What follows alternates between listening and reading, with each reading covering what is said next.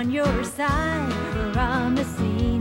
We're after the truth and what it really means. A lot of consumers are afraid to be aggressive, to stand up for their rights. Well, we're not. We'll make that call. And let them know what happened. Keeping you in touch, building Kansas pride.